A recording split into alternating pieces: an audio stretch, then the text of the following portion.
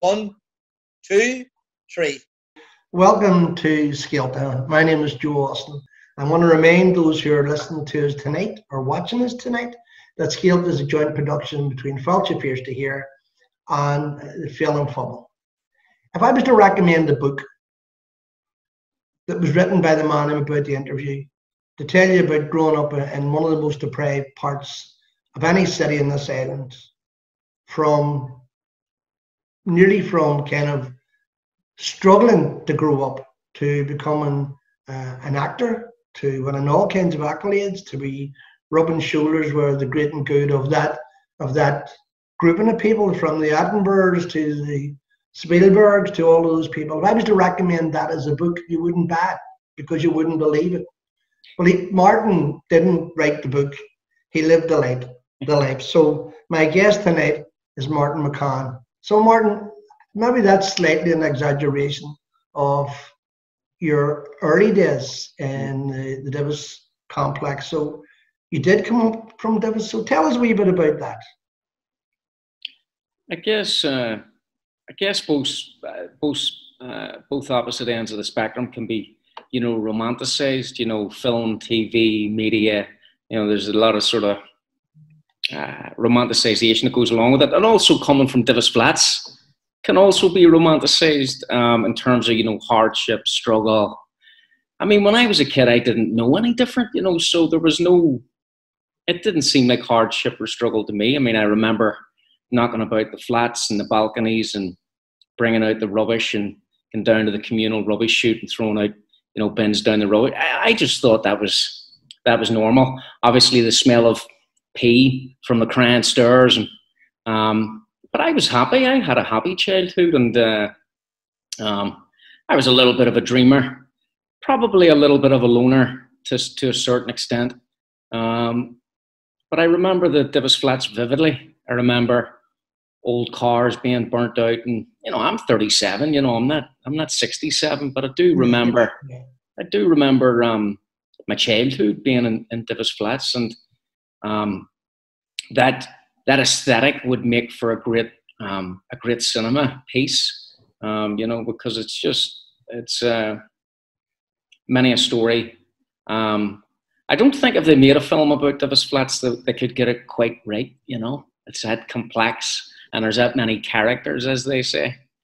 But um, but I never knew that I was going to become an actor or anything like that. I always loved watching people on TV and pulling funny faces and funny accents and stuff like that. Uh, and maybe I don't know. Maybe it was because I, I don't know. I was a little bit of a dreamer. A little bit of a dreamer. I, I know you're filming in Dublin and you've taken time out to be with us tonight. So listen, that's we much we appreciate that very much. We, we were talking to, to your brother Stephen uh, just to try and get a. I have never met you before, although I have seen you in a, a variety of stuff that you've acted. But I, we were asking him about your personality and just to get a feel for the interview. And he said that you were very observant, that you could watch a film, you could watch a, a, a program on TV, and you would remember and recall all of it. You would recall the, the good parts, the bad parts, the nuances of it. So you said earlier on about being a dreamer. Did you ever dream you were going to become an actor? Um, I it wasn't um, my intention. I remember uh, I really didn't know what I wanted to be. I loved film, I loved TV, and I remember doing my first play, as you will, in school, and I guess that I just felt comfortable on stage. And I and it's it sounds strange, but you get a sense of when things are going well on stage and when they're not going so well. And I loved that. I loved whether it was real or imagined. I loved the the notion that I could improve what was happening within the play depending on how I performed the play um, and almost sense whether the audience is switched on or switched off. And that in and of itself, no fame, no money, nothing like that. I just loved that element. I guess in a sense it was probably for the first time I felt, oh, I can do this. and I can control this and I can work towards being better at this. So, really, the craft of it was what interested me. And I was very young. I had no idea how I could do it as a profession. There was no dreams of doing it as a, prof- as a profession or making money or making a living from it. But I just enjoyed the process. And obviously, one thing led to another, and it became a job.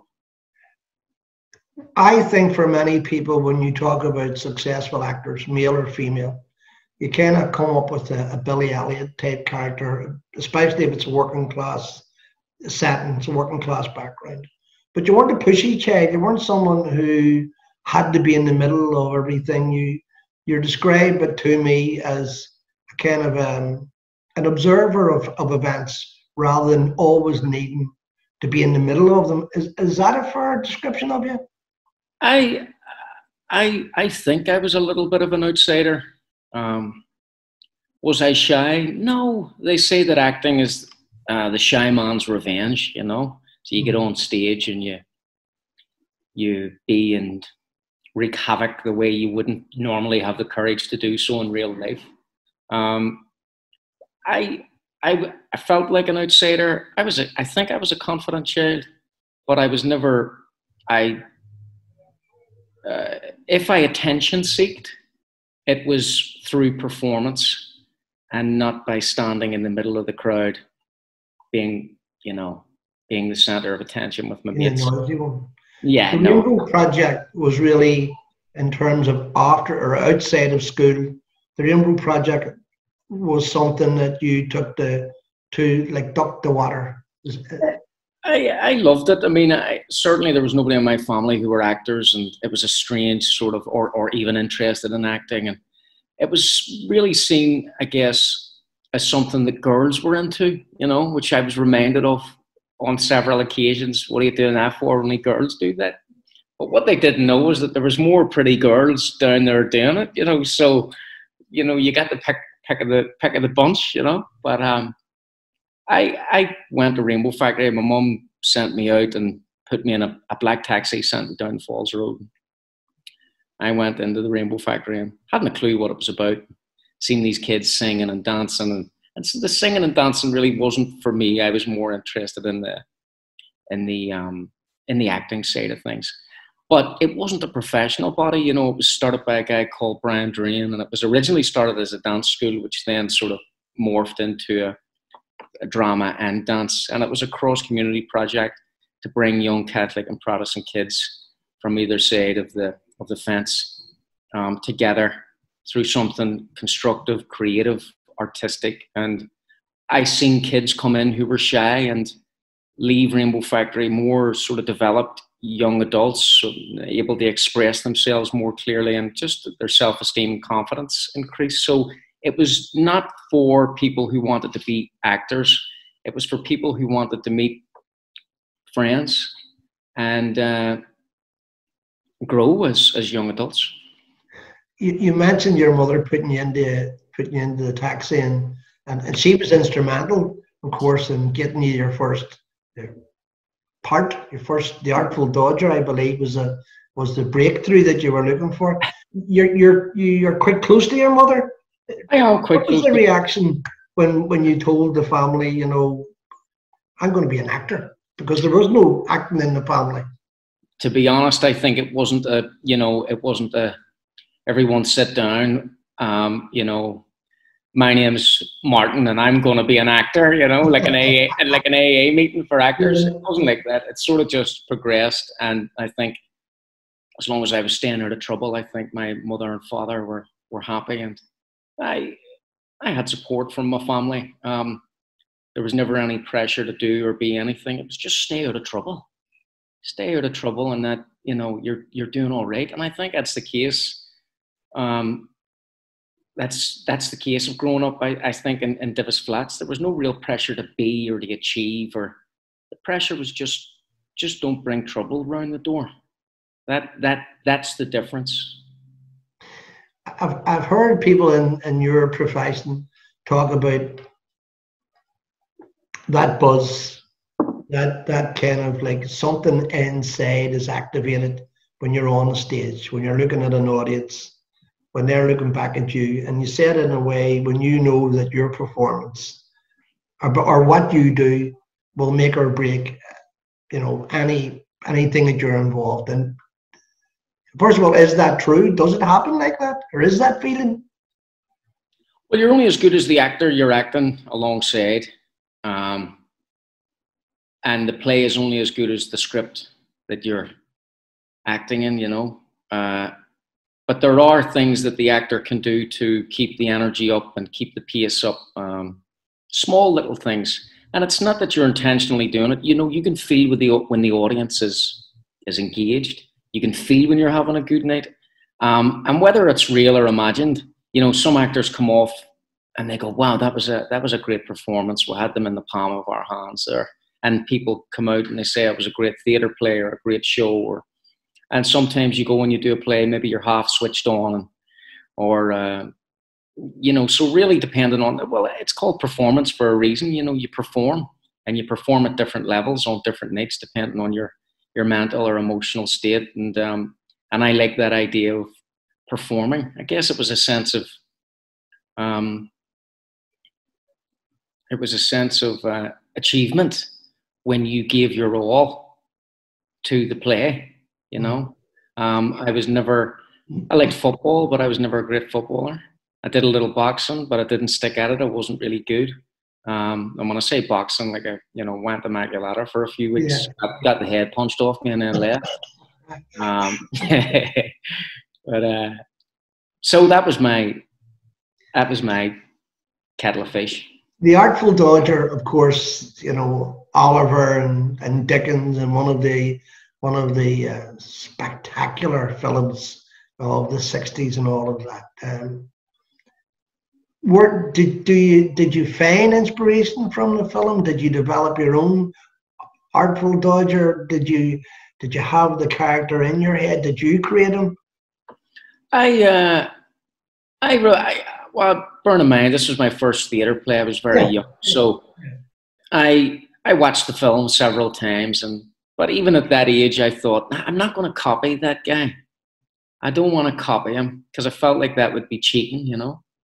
So as a good, a good artist, bad artist copies, a good artist steals. So I just stole some stuff and uh, tried the old uh, Cockney accent and more so got the essence of the character, you know, his little sort of cocksureness, his confidence, his cheekiness, and um, always conniving, always scheming, always thinking about where the next couple of quid was coming from. Even when you were talking to him, he was always just his mind was going a, a million miles an hour, and he was a live wire.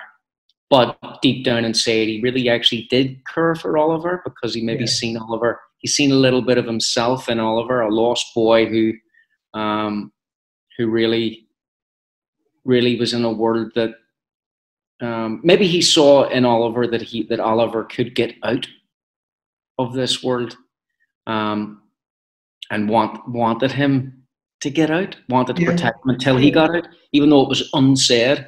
Whereas Fagin was very much, you know, get the kid and turn him into the Artful Dodger, make your money, and then be done with him. So, um, even at a young age, I, I, I understood the different dynamics, interpersonal relationships between the characters, and who wanted what, what wanted who, and and the, the motives and the passions of each individual character, how each individual character behaves to each other individual character, you know, the hierarchy, the power, the and all that started to intrigue me. And I went, oh, there's a there's a whole big myriad uh, of complexity in these white pages with the words on them that you can uh, paint you, talked about the misconception sometimes. Um, when we talk about actors, or for most people, when you talk about actors, especially someone who's reached the, the heights of their profession as you have, you you talk about you tend to think of the glory of it or or the success of it or what success brings, and that can be many different things.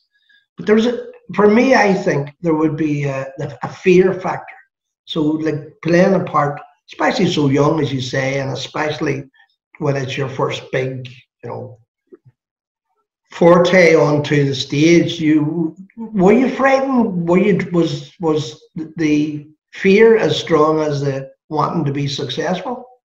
Uh, I think you are frightened and and sort of a little bit of stage fright, um, and that goes directly um, in line with how prepared or underprepared you are. So if you don't know your lines and you didn't really work well in rehearsal and you're not too sure about what you're doing, I think the fear factor can be through the roof because all you want to do is perform well. You want to give a good show. You want to you want to you want your director to come and say you know well done that was a great show when you performed everything that we did and taught and the audience loved it and if you're underprepared and you're not sure of your lines, you can be, it can fill you full of dread or impending doom, you know? So, um, I, and a few times I've experienced that where maybe I didn't work as hard or, you know, you, you, you have dreams of remembering or completely forgetting your lines going on on stage. You know, these are, you know, some of the fear-based dreams around it, you know, but you know, if you have to go out on stage for an hour and a half and just before you go out, you go, what am I saying? What am I doing? You know, there's four, that's, four, that's terrifying. 400, four, four or 500 eyeballs sitting in silence, staring, staring at you in a room where you can hear a pin drop. Um, so there are, but I think a little bit of anxiety and a little bit of fear keeps you on your toes and helps uh, to uh, motivate you towards getting it right. Did Oliver was Oliver the stamp on the envelope? Did Oliver saying your fate was that I am now? This isn't school. I am now a nat poor. I think so. I think so. I think uh, I probably viewed the world a little bit differently from that play because it was such a great experience and I had a sense of what I was and what I wanted to be and what I wanted to do and it's great for my self esteem, especially at that age, having done a play and having achieved it and um, having been successful at it, and gives a young person a great sense of achievement and accomplishment. And obviously, they want they want more of that, you know. So the love of the craft and also a sense of fulfillment and achievement, um, and something that I could measure you know you do this you work hard at that and that happens you know so it was my real sen- my real first sense of um, really committing to something for an extended period of time and um, achieving success at it and i loved it where did where did that i know you eventually were you done a, a whole series of sketches local sketches and then of course you done the ring and all that but what did Oliver lead to? What was immediately on the other side of Oliver? Uh, I, uh, that that was the Rainbow Factory. Yeah, that was the Rainbow Factory, and the Rainbow Factory kept me kept me interested in drama. Um, kept me around people who talked about drama. Um, kept me doing all all amateur uh, plays in the group theatre. Um, beside um, the Ulster Hall. So that was our little theatre. Yeah. Um, and we would put on different shows. Um, uh, Bugsy Malone, um, The Crucible. I mean, we were all very young, but we all put on the grey wigs and put the makeup on and did. So you were being introduced to even some material that was going over your head, you know, like an Arthur Miller play, and you're going, I haven't a clue what they're talking about, but but you would slowly you would pretend that you knew what everybody was talking about long enough until you did actually know what everybody was talking about. Is it a, you mentioned earlier on the rainbow factory was good for a number of a number of reasons not least not least of all for for kids coming in who built their character or, or give them confidence or been part of a troop uh, and moving from from your first role to, as you say, the Crucible, which I I have read a thousand times and still find a different answer to it every time I read it. But did you make friends? Were you were you introduced to a, a broader audience than those that you grew up with in the flats? I did. I did. I met I met new friends from both sides of the divide, and um, and remain friends with them even to this day. Good. Uh, so I had a, almost like a second clique or a, a second tribe, um, other than the one that I grew up with. So that kind of felt, I sometimes felt like I was living this double life, you know, this life with my, with my acting and my acting friends, and also this life of running around Divis, getting up to no good, you know. Um, so that, that kept it, that there was two sides to the track for a long time for me, you know. So there was always the, always the, um, I never wanted to quit acting, but there was always the ah, you know, take nothing seriously and go out and get up to a bit of mischief, um, or um, get the head down, hang around with your acting friends, and and read plays and and do stuff that's actually proactive and productive for your life. Yeah, and thankfully that was the that was the route that you took. I said earlier on in the introduction that you had met with and you became friends with, I'm told, with uh, Dickie Attenborough. Yes. How, how, did that come about? I did a, a Anthony Burgess uh, theatre play in Belfast, A Clockwork Orange. Um, I was part of the Belfast Theatre Festival and Film Festival, and, and uh, one of the producers came along and sit and watched the play, and I played Alex um, and A Clockwork Orange. Um, I'm sure you've watched the film. Yeah, yeah, yeah. Um, and the, the producer said to me after, look, we're coming to Belfast. And this was really at the start of, obviously there have been large projects made in Belfast, but Closing the Ring was the start of this film industry really that came to Northern Ireland um, over the last wee while that ultimately led to HBO, Game of Thrones and all that. Um, but she says, look, I'm, we're uh, turning Maysfield Leisure Centre into a film studio, and etc. etc. And Richard Attenborough is coming over. I'd like you to meet him. And I, I hadn't a clue who Richard Attenborough was. I mean, the only time I'd seen him was in Miracle on 34th Street, and yeah. you know, being Santa Claus. And, and then I went, oh, I, the guy from uh, Jurassic Park. Oh, I, class. Little did I know he was, you know, screen legend and yeah. Oscar winner, multiple, multiple uh, Gandhi, and yeah. and really part of the uh, I don't know, you could say um, the fabric of British cinema for a long time. Certainly was part of the, the, of the establishment of it. He was the establishment, definitely, definitely. Um, I met him, and a lovely man. You couldn't have met a nicer man. Peaceful, calm, and um, made me feel at ease and um, asked me had I done acting before, and you know he was considerably old at this stage, and I said yes. And he says, "Well, what did what did you just recently do?" And I had just done that sketch show for the BBC. You played. I, said, I played a priest and all sorts. Friendly of, priest. That came back to me. Yeah. Uh, all sorts of small, stupid comedic characters. And I says to, to Richard Attenborough, he says, "Well, and what character did you play in that?" And I, I, I didn't. I just looked at him and I went, I actually played 27 characters. and he must have thought I was insane. And he went, bless him, he went, oh, 27? Wow. Who the who plays 27 characters seriously? Like, you know what I mean? But um but I was probably just nervous and didn't know what to say.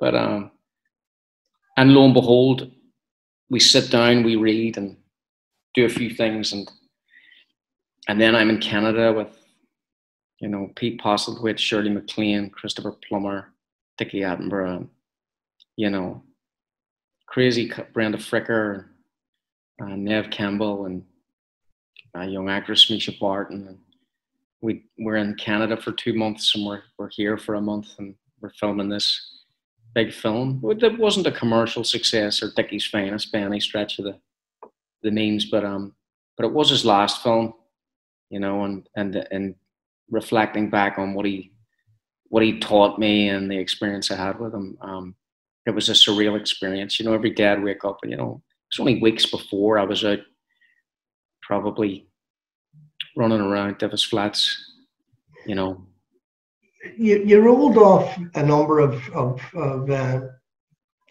very, very internationally known actors and globally known actors just up to the top of your tongue there. How, how, how did you find these people? I mean, were they kindly? Were they distant? Very kindly. And, uh, you know, I was, I was the young cub in the, in, in the group. And, and not only that, you know, I was young, but I had a baby face. I looked even younger. So I guess they all were quite paternal or wanted to look after me and gave me an easy time. Um, but this particular project was a special uh, project. Not many are like it because uh, the, the director was old and everybody just wanted to be there to impress Dickie and be part of this wonderful experience. So that was definitely the warmest most special set I've ever been on. Um, and maybe it was a case of me being young and being from Belfast and them knowing that I hadn't done much before. Everyone was extra nice and extra kind to me. And I got quite close to Pete Postlethwaite and we were like, you know, a wee double act on that. I just hung, around with him everywhere. Um, he would go, he had recently lost his brother on that film set and I, he didn't, didn't mention it or certainly didn't, you know, uh, let it hold him back. But uh, but I did notice that he, he he was drinking every day. I just thought it was so strange. You know, he would have four or five Guinness in the morning and um, some at lunchtime. But he had just recently, like a few days before the film started, um, his brother had passed away quite quite badly of cancer. So there was things going on that I obviously me being young that obviously was, were being hidden from me. So I just loved it as as a as an experience. But as I got a little bit older and went from film set to film set, you realize that actually film sets can be stressful and uh, pol- political, and with so much money being invested and so little time, um, can be uh, can be a challenge. And then you have, uh, you know, actors vying for position and directors bullying and stuff like that. I've never really had any bad bad experiences, but in terms of that experience, nothing comes quite close to how lovely it was. You mentioned there you were nearly nearly living a double life. You know, one foot in Divis. Uh, McCanns are a very close family. And one foot on stage or one foot on in a film set. And this occasion, you're you're in Canada. Mm-hmm did you, were you lonely? Was it hard being a young guy away from home? And you know, I said you're very close to your mother and father, and of course you are. But was was that a difficulty for you? I I didn't feel lonely. You know, I was just glad to get out and get away. And I've always had a little bit of a nomadic temperament and love to get away. I'm not afraid of traveling on my own and um, being alone with myself for extended periods of time. I've always done that, you know. Um, so it suited me. I loved it. And I really had the sense, little did I know, I didn't foresee the challenges that being an actor would bring, you know, the months and months without work or, you know, the financial hardship or the struggles in London. And, you know, so really I was introduced early to this sort of, you know, dream scenario where you're working with all these greats and um, you know looking back you know I, and, and as well they were paying me and you know i'd never had any money before in my life and now they're giving me a chunk big wad of cash and you know and, and i'm traveling and i'm you know and i'm one of the lead roles in this you know so it was you know upon reflection if i knew then what i know now you go actually you'd have you'd have realized that that that's that experience is a one-off and this is a job and there is going to be ups and there is going to be downs. Um, and unless you're an actor it's hard to explain or describe what it takes to be an actor. It's not like a boxer where you're in the gym and you're training you're training you're training and then you have a scheduled fight coming up it's more a case of um, the time that you wait and you have to fill your time and then you put all this effort into trying to get a job only to not get it and knowing that that it'll be another three or four months where you're trying to get the next job. So it's trying to keep your mental and emotional health in check and trying not to make um, your profession as an actor a referendum on the quality of your life. And I think it takes a wee while. Certainly, it took me a long time to learn that because when I was introduced to acting, it was not that it was handed to me on a plate or a platter. I'd done a lot of theatre since I was a child. So if anybody was going to get a film at 20, um, it, it could have or it could have or should have been me as I had done so much theatre yeah, uh, in the past, as opposed to no one as some as opposed to someone who had never done theatre and got the role. So I what I'm saying is I, I, I earned my stripes up to that point, but no one sits you down and goes, "This is actually how acting really is." Um, it's quite challenging. Um, there'll be ups and there'll be downs. You know, when you're 20, you believe it's always going to be like that. You're always going to be on a Richard Attenborough movie, traveling around the world with money in your pocket. But it doesn't work like that. Well, strangely, you're saying that. I mean, I, I have just at my fingertips a whole prolific uh, set of pages that are telling me all the successes and the Irish BAFTA, all that sort of stuff that you know better than I do. And I'm going to go through nearly all of it and what the R will permit with you. But when you listen and you look at a successful actor like yourself, it is the success you see.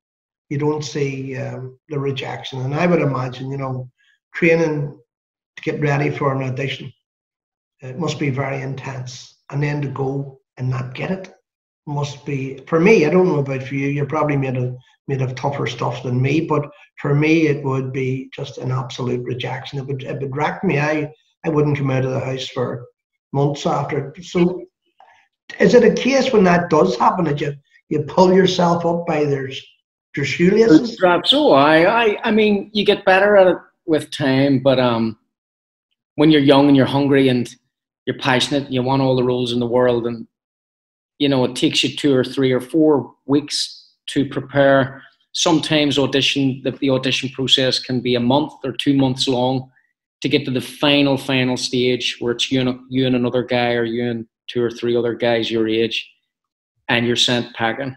Um, and you know, maybe it's another three months of no work and, you know, you put in so much and you traveled, you traveled to work wherever it was. Sometimes they don't pay your flight, so you have to foot the bill for that. And so it can be not physically exhausted, but exhausting, but mentally and emotionally, you have to be sort of. And they say, well, you know, don't attach yourself to the outcome of whatever happens, happens, and it's for you, it's for you. But you see, you have to attach yourself yeah. to it because if you don't, then you won't work hard enough to try and get it. Yeah, yeah, sure. So you have to want. So you have to want it, and if you want it and you lose it, there's going to be some repercussion for that. Um, and it's not that you're losing any one particular job, it's that um, if you say to somebody who's not an actor, you know, prepare, eh, do a job interview once every couple of months, but spend the eight weeks preparing for the interview and do that two or three times a year and be told no at each interview and have no work. Um, that's that's the reality of, of being an actor. And at any given time, less than I think five percent or ten percent of actors are working. So there's ninety percent of them out there trying to get a trying to get a job. That's just the way it is. I want to talk. I can't talk to you about every individual film. You're in too many. So I want to just kind of jump and flavour it and try and get a sense of it. I want to talk about my boy Jack um, yes. which is a Rudyard Kipling uh, story of his son who who died during the First World War. Kipling, as you know, and you, you know this the part better than me, but Kipling was and can be described as a warmonger. Uh, he was very much supportive of the First World War, very much supportive of the British activity in South Africa, and he loses his son, and that's heartbreaking, no matter what is. But do you leave? Do you leave a film or a, or a play or a drama? Do you leave part of you behind when you leave that? You, you mentioned about becoming absorbed in what's in front of you. And when you finish, does it just finish clean, cleanly or is it like kind of part of you still there? Uh, well, you have these method actors like Daniel Day Lewis and all that that give their all. And, You're much better. Ah, no, I, I, I, uh, I, I, I just, I don't do anything like that. I, I don't method act. I just kind of go with my instinct and stuff. Maybe, maybe I should do that. Maybe, you know, sometimes, you know, if I did it, I probably would be as successful as them guys. But I, I have my thoughts and opinions on that. No matter how much I try to, you know, I could drive around in a taxi all day. I know I'm not a taxi driver and I, I can already drive. Do you know what I mean? So I think, you know, Robert De Niro driving around in a taxi all day for taxi driver. But then again, you know, he's Robert De Niro and um, you can't really knock him. It's just not not for me. But and even if I started to do that style of acting now, I'd know it would be a lie because it's not something I do. So I would feel I was doing it on just to copy those guys and stuff like that. But you know each actor has their own method and um, you know it is it is what it is. But that's that's that's all in the prep. In terms of leaving a part of me behind not really. I i if i did that method acting it would maybe distress me so much because i got so into the role and you lose you hear actors saying that that they lose a little bit of themselves coming out of the, each project i personally don't get that i what I lose is the connection with the people that I met and, and met so intensely. And then they're gone. And sometimes they're gone for the rest of your life. And these are people you work with for three or four months and you see every day and you become best friends because they're like your new surrogate, your, your new family. Yeah. And then you leave them and they go back to their country and a few texts or a few emails or but they're gone, you know. Yeah. And that's what you lose. So you, but it's also what you gain. Um, By this stage, you, you are not only an actor, you're a highly successful actor. Belfast is too small, I, I suspect, for work, for employment. It's not, I know that we have developed a fairly healthy film industry as a kind of a, a product, but do you, did you move out of Belfast? Did you move traveling, looking for work? I lived in London for five or six years. Um, I lived in Dublin for a few years. Um, I've traveled obviously with work, um, but I moved back to Belfast because you know home is where the heart is, and I missed my family, and um, I don't know. I'd I'd spent long enough away, you know. I'd Can I ask you how how particularly how was London for for a young man chasing work and, and away from his family and, and all of that? It was challenging uh, because, well, I didn't have much money. So I was always skint. I was always running from tube to tube, the audition, the audition. So, and it can be quite a lonely, harsh city, yeah. you know, yeah. for, for a young actor. And, but it took me a little while to build up a social circle and, and um, worked in several bars. Um, and, you know, made enough to scrape by, but the rent, the rent was crazy, you know, and, uh, but I found my feet eventually. And then when I found my feet, I went, all right, I've had enough of here, you know. Um, so it was challenging. It was challenging. I I wouldn't like to live in London, you know. Um, maybe under different circumstances, uh, but it's not somewhere that appeals to me. I like getting into the car here and zooming up to my dad's or just going for a coffee and parking the car or phoning a mate and saying I'll be around in five minutes. Can't do them things in London. You need to prep. You need to prepare. You need to phone your mate and say, "What are you doing today?" And they go, "Well, like I've got a, I've got ten minutes tomorrow on Thursday. Well, I don't know what I'm doing for ten minutes tomorrow. On th-. You know, so living in a big city like that, yeah, the spontaneity is taken away, and also, I love driving. I love being able to get in my car and just go out into the countryside. I love that. That's one of the small things. No matter what is going on in my life, nobody can take that from me. I can get into my car and I can go out and I can go for a walk in the countryside. And that's a that's a big thing for me. I'm going to ask you a question. I'm, I'm asking you without trying to embarrass you. Um, can you recall when somebody you talked about your mates and having the freedom of, of just doing what you do? Uh, can you remember when someone first said, "I know him"? He was in a film I seen. Um, no, no, I can't, I can't. I can't remember the first time. I mean, I, I remember a lot of people looking at me and copying the trendy priest when he's on the phone and he does that thing with his tongue, you know. And uh, yeah. a lot of people did do that to me, but um, but now, now, now it happens. It happens rarely enough, but when it does happen, somebody will be nice and go, "Oh, I watched that thing on Netflix," or "I watched that thing," and but um, you know, it's certainly, it's certainly, it, you know, I don't get a big reaction or anything like that, you know, and it's just nice if somebody watches something that you're in and goes, "Oh, I watched that thing, you were, and I really enjoyed it." You go, "Thanks a million, I appreciate it," and that's it. You're quite a modest person, I have to say, and you're quite centered in your life. You're, you know, anybody that I've, I've spoken to uh, about you, or anybody who have said in the last few days when you confirmed that you were going to be available today, um, anybody I've spoken to went, yeah, he's guy's dead on. Yeah, he's, he's yeah, he's Paul Drew. That's what he is. He and he acts a bit. Is there is there a danger in the celebrity that that is imposed upon you? And you, I want to talk a wee bit about your experience with uh, Steven Spielberg, just just very briefly. But is there is there a period? Is there a danger for you for a young actor that you begin to live the myth and you kind of do all the bad things, do all the things that that that come with notoriety, that come with money, that come with fame. Is that a, is that something that that drags you in if you're not careful? I think if you, certainly from my experience, I think if you have any notion or idea that acting or your career, whether it be successful or unsuccessful, is going to bring you lasting fulfillment or real, true value to your life, it's a small part of your life that, if not kept in check, can grow to be too large and you, you can become obsessed with it. And other things fall by the wayside.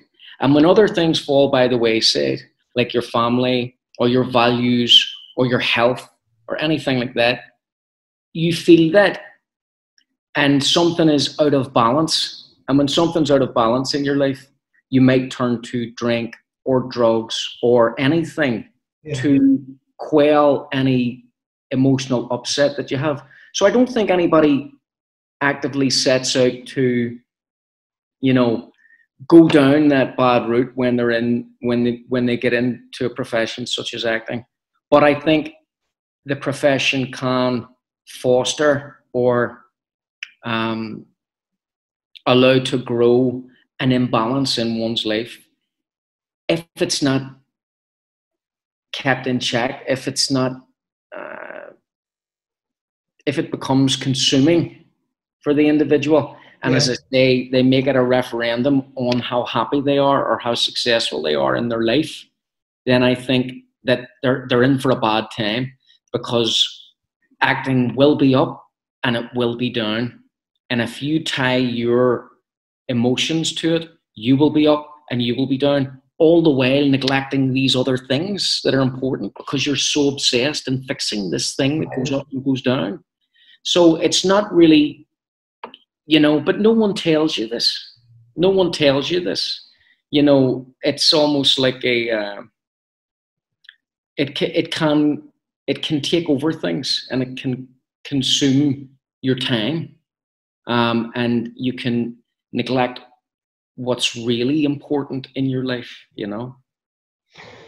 2011, you won the, the Irish BAFTA Academy Awards. Um, was that kind of great? I'm here, I've got it, I'm Irish, I'm, I'm my own my own wee house, I'm my own wee country, and I'm, and people are acknowledging that I'm, that I'm I can bit, yeah, I can do okay. Aye, it was it was great. I mean, I felt good. I was on top of the world and all that. And uh, um, but the funny thing about that award is is that it doesn't bring you any more work.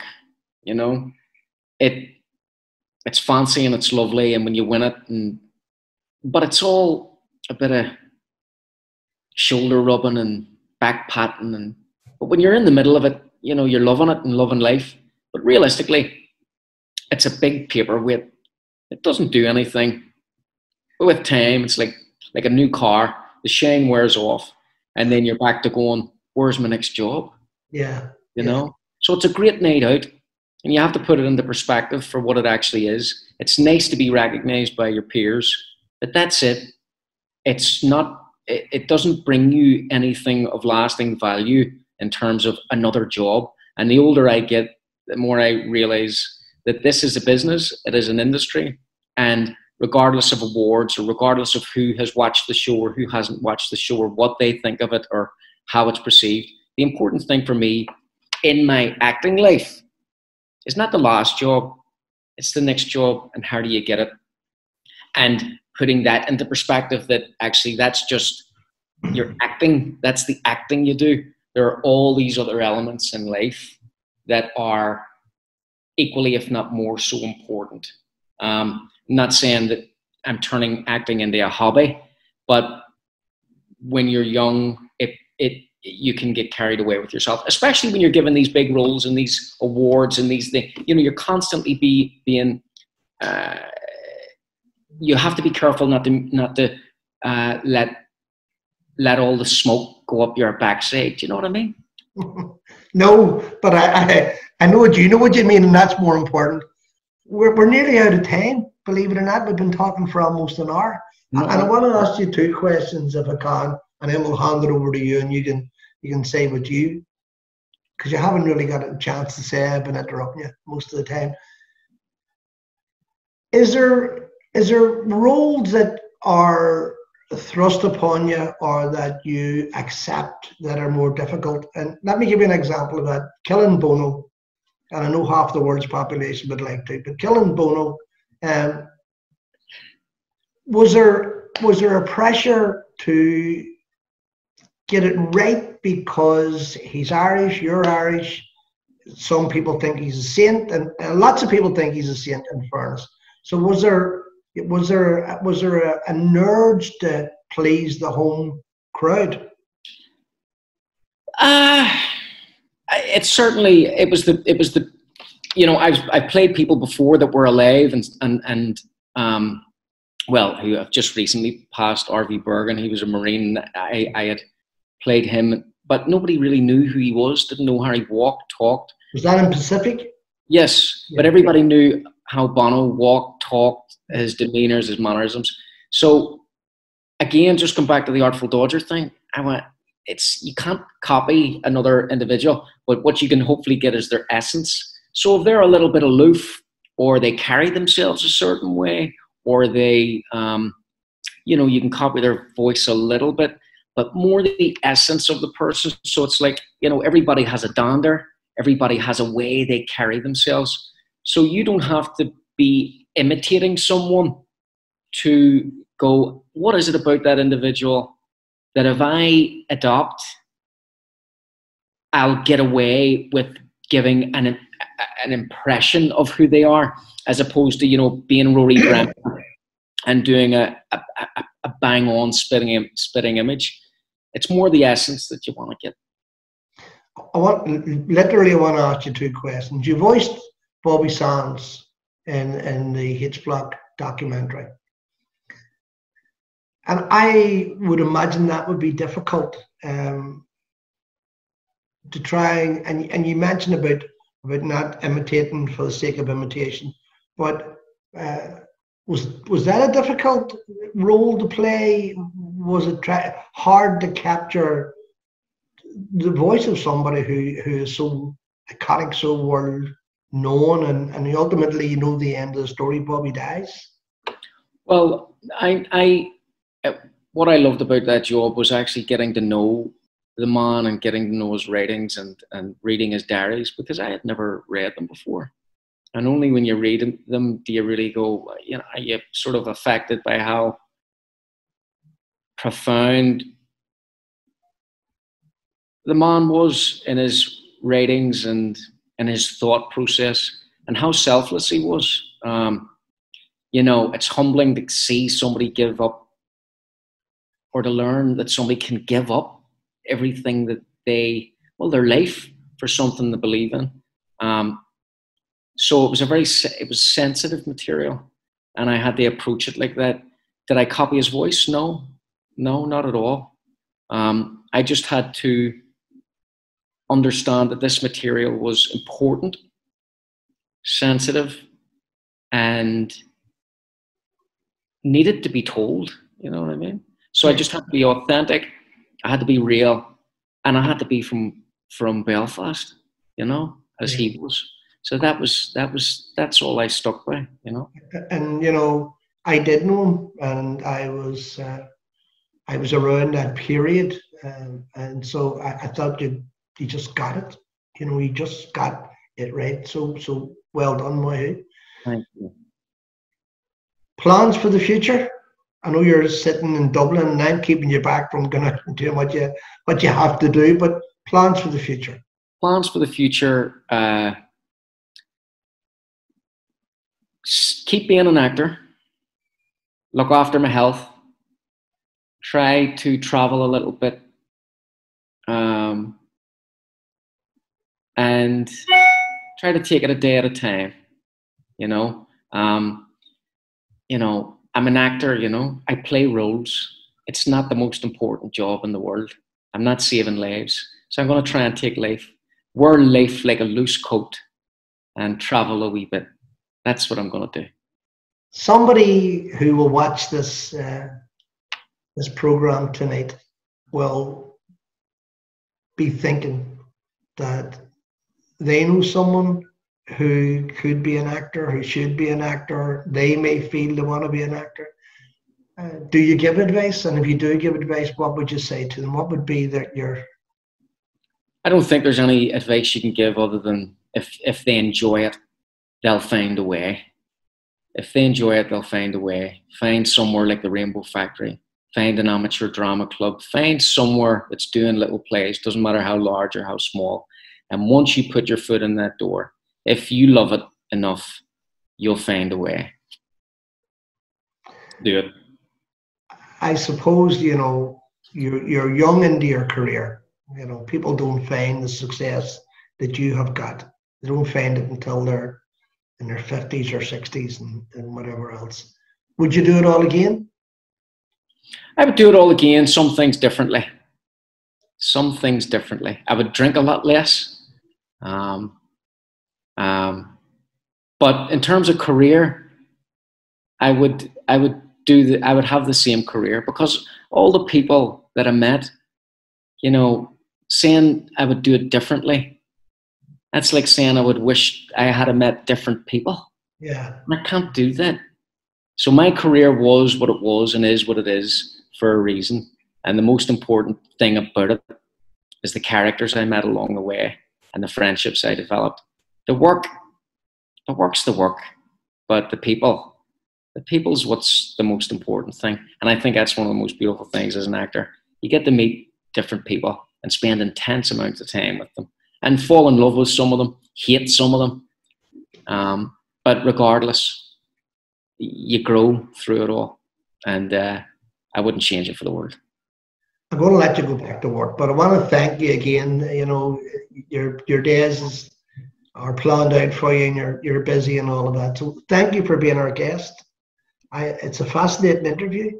I think you've answered a lot of questions. You've certainly answered a lot of questions for me, for Martin. Thank you. Yoga, thank you so much. God bless. Bye bye.